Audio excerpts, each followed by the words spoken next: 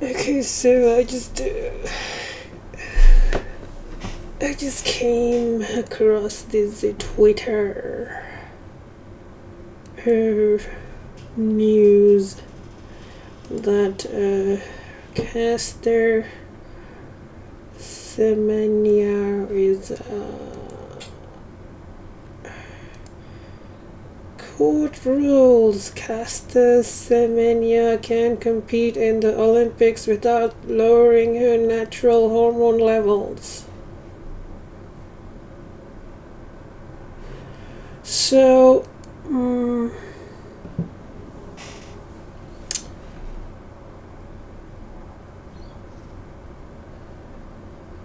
so th- this is a link to the. Uh, it's called the IAAF publishes briefing notes and Q&A on female eligibility regulations. So I, I bre- uh, I skimmed this. So the regulations, uh, you know, with requiring uh, the reduction of testosterone applies. It's called the DSD regulations. I think the DSC DSD stands for disordered sexual development. DSD oh, disorders of sexual development.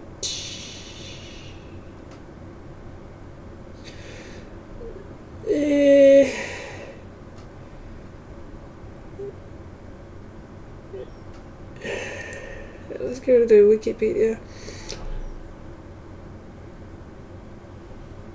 DSD are medical conditions, uh, I'm reading from Wikipedia, involving the reproductive system. Most specifically, these terms refer to, quote, congenital conditions in which development of chromosomal, gon- gonadal, or anatomical sex is atypical.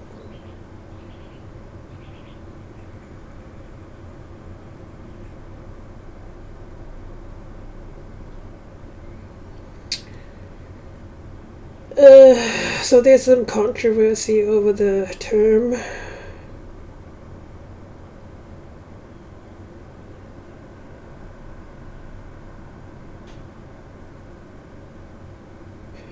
Uh, okay, um, anyway, so that's what it applies to. So uh, I'm reading from the IAAF DSD regulations.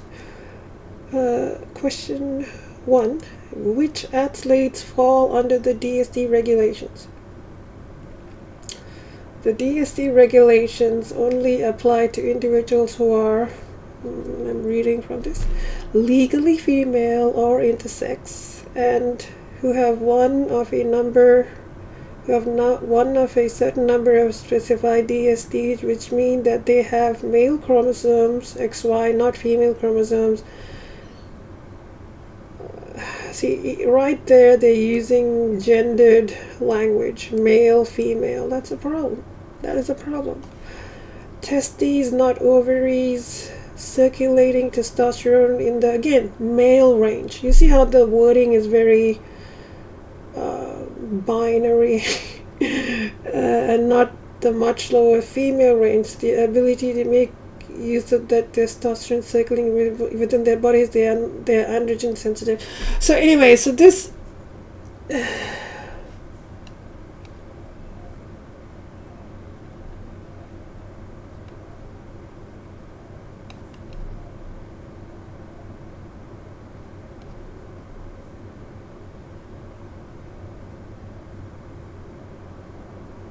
Hmm.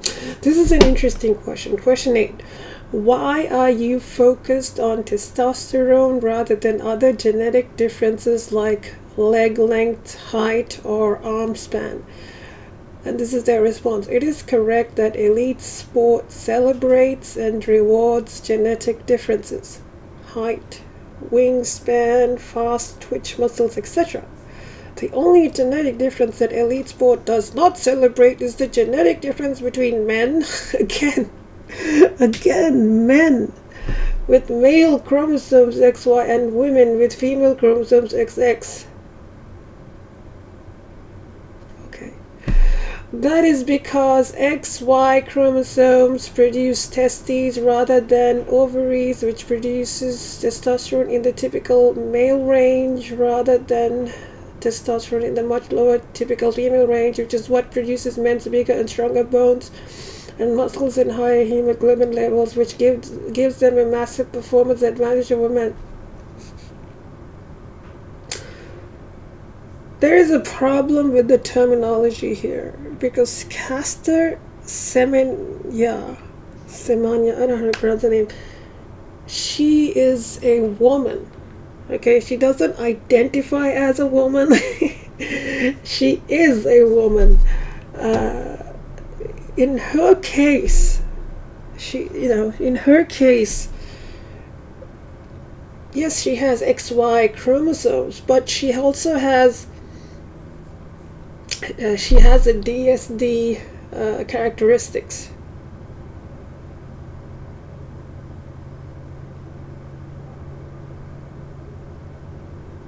Okay, they're basically saying men and women have two separate categories in sport because uh, you know uh, men have you know because of the testosterone gives rise to certain physical traits that uh, give them you know an advantage over generally female.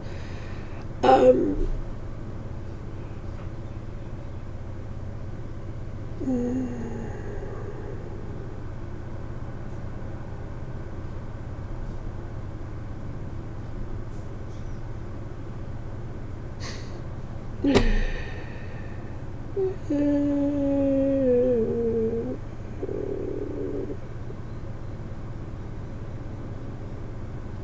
See, this is a problem. Look.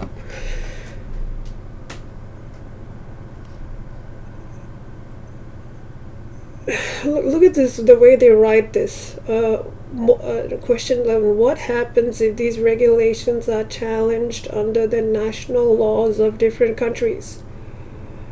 uh, and I quote, the CAS has found the discrimination in these regulations treating 46XYDSD women, okay, they're calling them women, differently from other women to be justified because they are a necessary, reasonable, and proportionate means of achieving the legitimate objective of protecting fair competition in the female classification. In short, it found that in this context, quote, biological reality trumps gender identity, end quote. That ruling should be respected and enforced by the national court. Okay, so what is the biological reality they're referring to? See, they won't say it, but they're, they're sort of without explicitly saying it, what they what they actually are when they say this biological reality trumps gender identity. What they're saying is Caster Semenya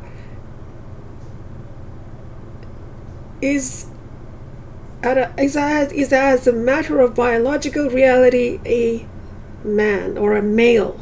uh, and so this is you know it, it is transphobic and uh, there's another statement in here where I want to point out oh look here you go. Question six what is your response to the claims about the harmful side effects of taking the medication you recommend? And going down.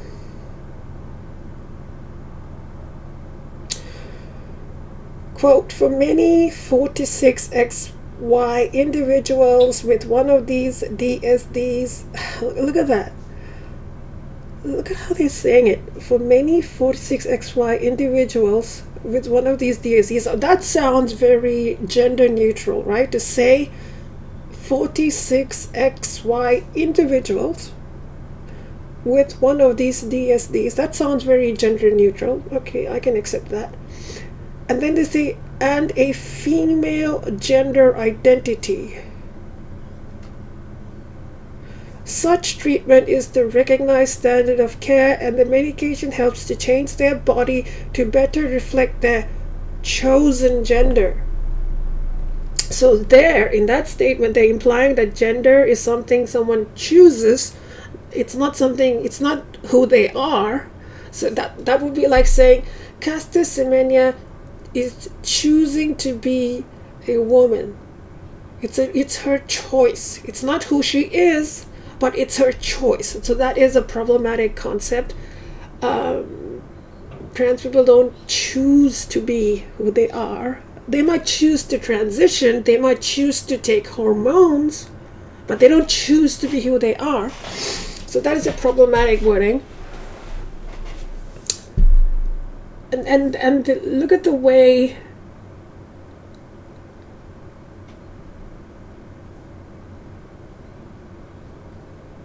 look at this statement. Such treatment is the recognized standard of care, which is uh, lowering uh, testosterone. But it is a recognized standard of care for trans women. But uh, not all trans women uh, take hormones, you know. and the medication helps to change their body to better reflect that. This is the most problematic statement the medication helps to change their body to better reflect their chosen gender. You know what that statement means? It means that, first of all, the chosen gender, leaving that, that problematic thing aside, what they're saying is if you're going to be a woman, you have to look like a woman. what they're implying there is women look a certain way that is uh, saying that if you're going to be a woman, you have to be like, you know, have a. You can't be too muscular. that is such a. Um, that is. Um,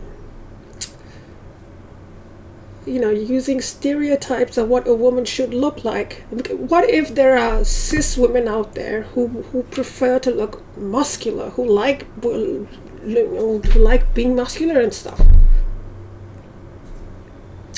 Are they less of a woman because they look very muscular? So, first of all, there is that problem of saying that women should look a certain way or women should uh, like women can't be strong and, you know if, if a woman is a, is as strong as a man let's say you have a very like a, a weak man like not very physically uh, strong, and you have a quite a physically strong woman. Um, it does this mean that the man is feminine because he's not that strong? Does this mean that the woman is is a man because she's too strong? I mean, this, can you see the problem problem in this in what they're doing here? They're trying to appeal to stereotypes of what they think a woman is, and they there is some kind of a racist undertone to this because most physical, like most women from Africa and you know, like a you know the so-called problematic third world whatever they usually have a very physical like they, they have very muscular bodies. And whereas women from you know europe you know uh, western countries you know white women uh, European countries, they usually usually don't look very muscular, but you know some of them may, may look like that. Anyway, so there is a, that racist undertone to this. Um, so can't you? So by I think what the uh, let me look at that tweet. Uh,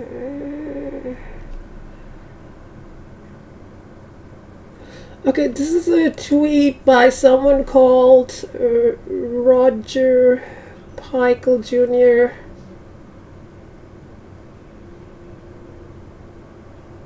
He, he seems to be a scientist or something. Uh, anyway, this is his, uh, he quotes from the, uh, something is going on. It says Swiss court dismissed the appeal despite finding that the WA regulations seriously violate Caster's physical integrity because the required hormonal drug intervention is not medically indicated, has negative health effects, and is not based on the athlete's free consent.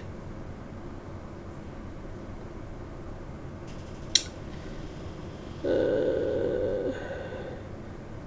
see, someone says, it's discrimination thinly disguised as being fair. She's African, so she's held to different standards of femininity, and her biological makeup just happens to give her an edge in track and field, which of course means she's somehow less of a quote woman than other women. Pure BS. Mm.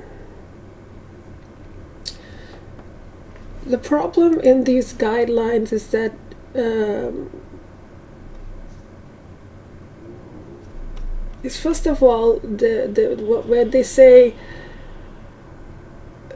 male chromosome by saying male chromosomes and not female you see Caster Semenya does not have male chromosomes. Typical image she she has XY DSD now DSD means this uh, you know DSD uh, you know, it's it's like an intersex condition. So she is not like a man.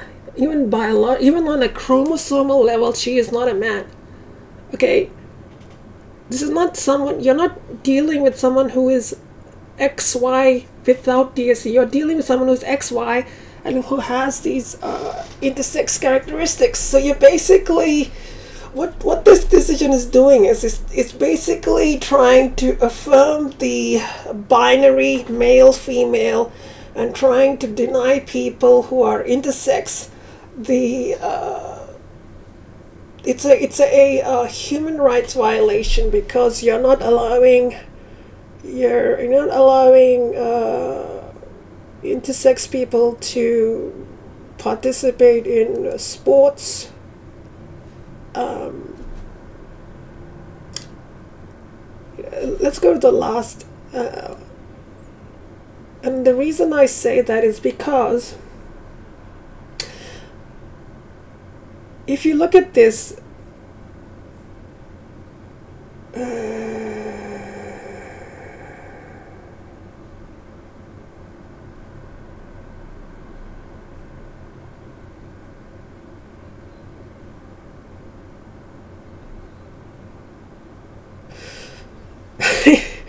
this is IAAF and human rights position. The IAAF is not a public authority exercising state powers, as I'm uh, reading, but rather a private body exercising private contractual powers. Therefore, it is not subject to human rights instruments such as the Universal Declaration of Human Rights or the European Convention on Human Rights. And it'll go down. In fact, it is that commitment to equal treatment that mandates provision of a female only. Look at that, look at that, look at that. Of a female only competition category on the basis that the biological differences between the sexes mean this is the only way to guarantee female athletes an equal chance to excel and to secure the social and other goods that elite sport can offer. So does this mean Caster Semenya is not a female? Is that what they're saying? If Caster Semenya is not cannot participate in the female category unless she lowers her testosterone levels, does this mean that Caster Semenya is not a female like like uh,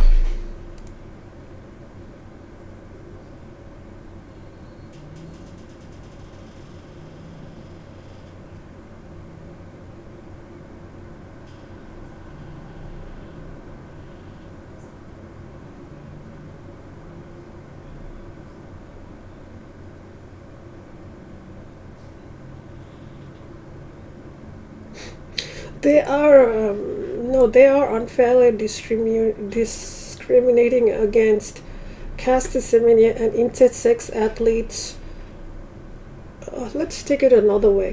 What about um, those with uh, XX.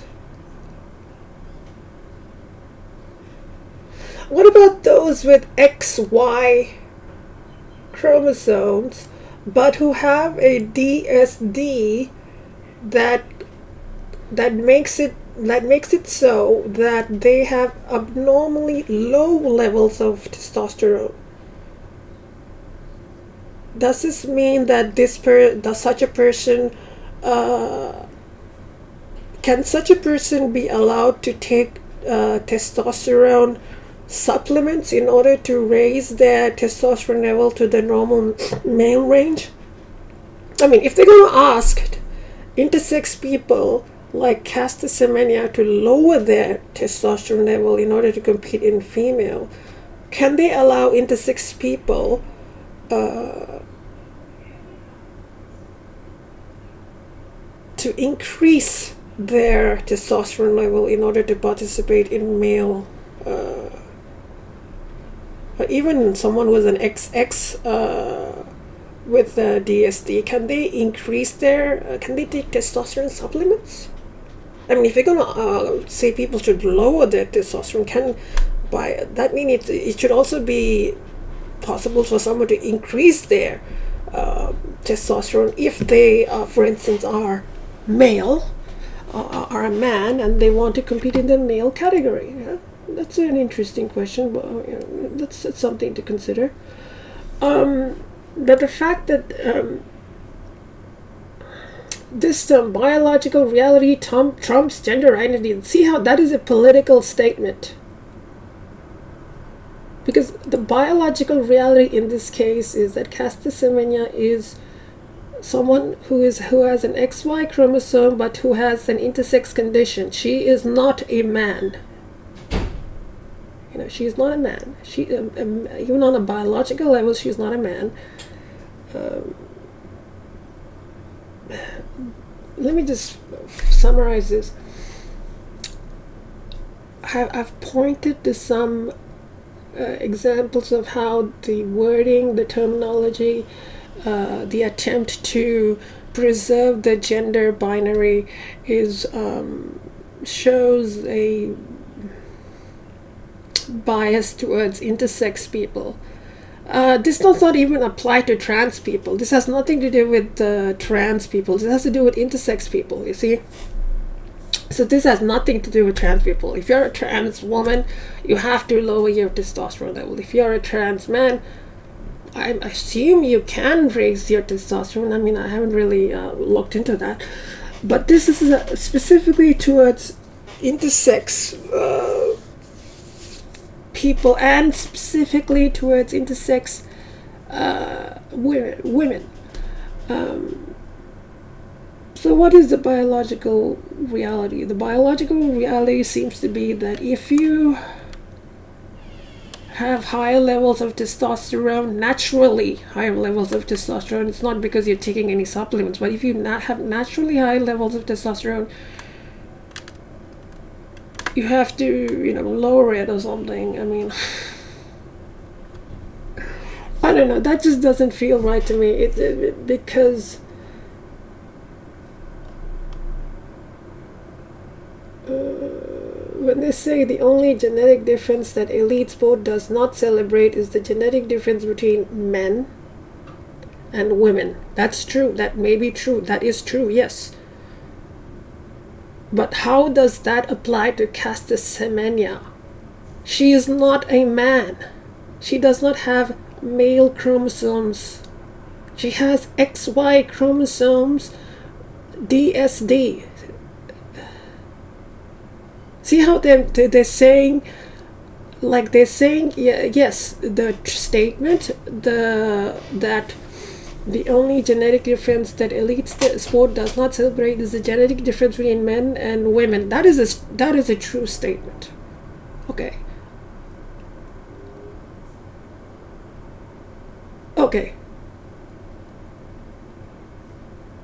Okay.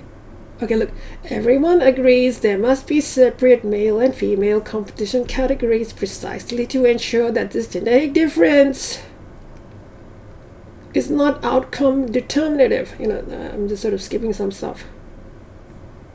Now, here's what they say we regulate 46XY DSD athletes because they have that same genetic difference.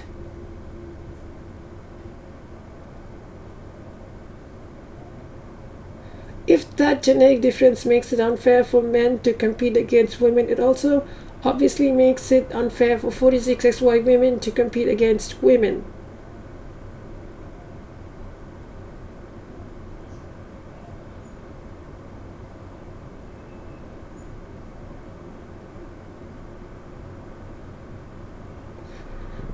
Mm.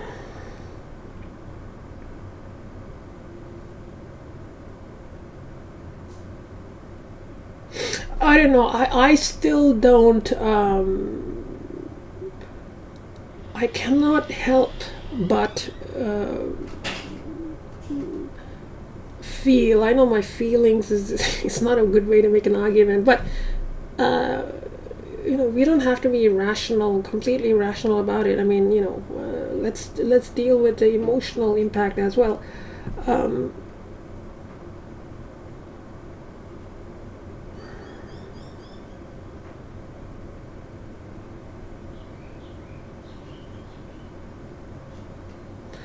there is something else I want to point out here. See, these regulations, they only apply to people who are competing at the high, at the international level. Okay? Let me read that.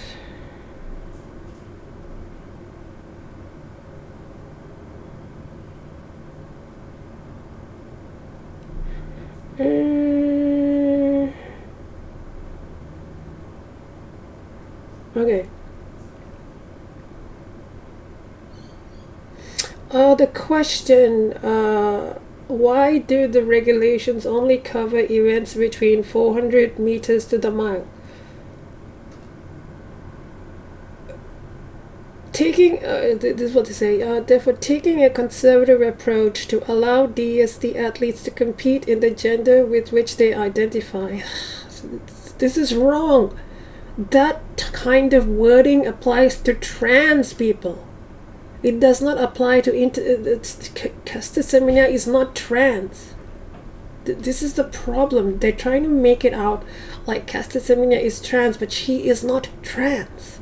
This is the problem. They're using concepts associated with trans people to Caster Semenya. She. This is the problem and again the, another example where they try to mm, imply that they try to take concepts associated with trans people and, up, and I try to apply the Caster Semenya is here in question two um, under the question why do such athletes have to what do such athletes have to do to be eligible to compete in the female classification?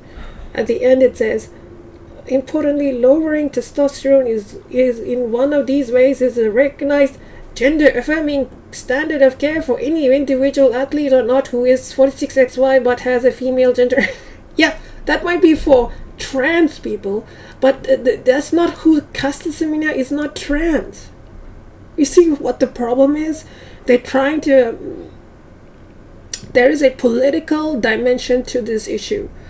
I think the set in the background of where you know trans people are getting a lot of recognition uh, and there's this all this reaction against trans people you know like being seen as who they are you know like uh, saying oh biological reality trumps gender identity i can't believe they put that quote in there. That might be something like a, a transphobe might say. Fine. But Caster Semenya is not trans you see the difference here they're taking uh, concepts associated with transitioning, such as lowering testosterone, gender affirming standard of care. Yeah, but that might be what you apply to someone like a trans woman or a trans man, but Caster Semenya is neither. She is a woman. She is intersex. She's a woman. She's not trans. They're conflating the two. This is a problem. Uh, and another, and another reason, and, and this is just to try and stop her from keeping her gold medals or whatever. they say, they say the new regulations only apply to track events between 400 meter and one mile and, and only to international competitions. See that? They don't care if you uh, on a national level if, if you want to like you know run 400 meters and, and, and in your in your country you win like you become the top athlete or whatever they don't give a damn about that why um, because let's let's think about it. If you are from africa and then you win the medal in africa who cares? You're probably competing with other africans. They don't give a shit. But if you're going to go to the international level oh you're from africa you're going to compete with uh, women from europe? Holy shit no we got to stop you there. There no no no no no. You got to bring your testosterone level down so we can give the other white women uh, an opportunity to win you see how racist that is? There's this implied racism in there. Um, that is racist. I didn't think about that, but um, the fact that they only apply this to international competitions uh, uh shows that why do they only apply to international competitions? I mean, if they want to like be fair about this, shouldn't it apply to everywhere? I mean, why don't they give a damn whether it uh, whether you uh, win in your country or not? Can you not see the implied racism there? Because they don't care if you are from Africa or wherever you're from, and then you win some tournament in Africa. Fine, go ahead, do what you want. But if you're going to compete with, you know, white women in the in, with the European women, you know, the, oh, oh, oh, then you gotta step back there. Uh, but then again, in um,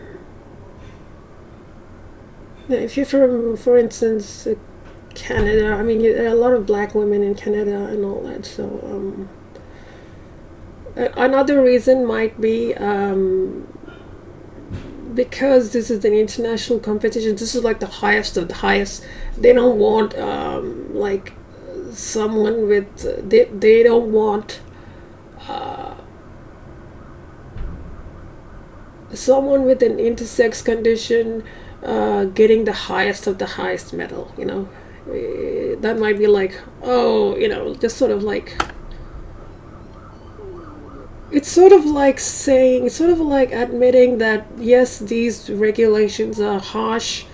Uh, in order to make it uh, give these intersex people some way to compete, we will let them compete at the national level. But when it when it's when it comes down to it, you know, when it's uh, when it the, at the imported international level, no, we're not going to let them compete. But nationally, okay, fine, let them do it.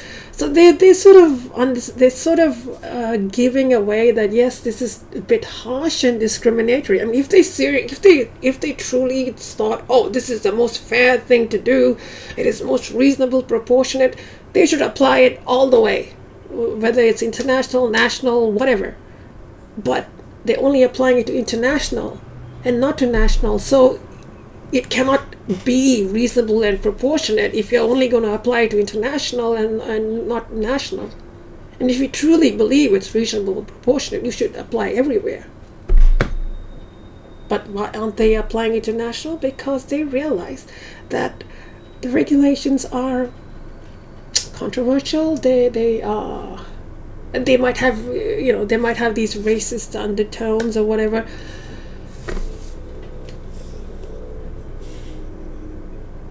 Cast, I, I want to say again, Caster Semenya is not a trans woman. She is a woman. She is a woman with an intersex condition. She does not identify as a woman. She's she's not choosing to identify as a woman. She is a woman. Caster Semenya is not a trans woman. She is not she doesn't need any gender she does not Semenya does not want to take testosterone whatever blockers or, or whatever. She's happy the way she is. She was born that way and she's happy the way she is. She doesn't want any gender affirming care because she is a, a, a, woman and she just happens to have this uh, genetic condition. And your argument that uh, your argument you know that um, that the, the that there is a two category male and female and therefore and uh, and what makes it different? Is the testosterone? I don't know. I mean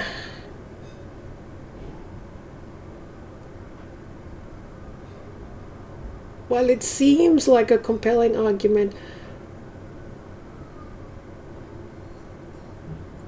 you are denying you are forcing Caster Semenya to choose between uh,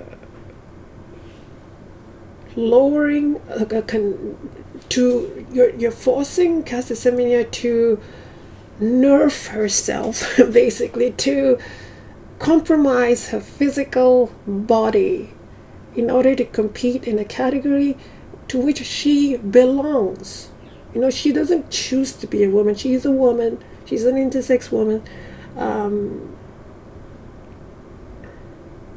so this is not a. Uh, this is a very problematic thing. Okay. Um, anyway, so I'll leave it there. Hmm. Shit, it's 36 minutes. Uh, I will link the um, regulations and maybe the tweet. Uh, I didn't. I, I didn't read the. Um, I only read a few tweets, and then I only read. I didn't read the link to the uh, article in the tweet. Uh, anyway.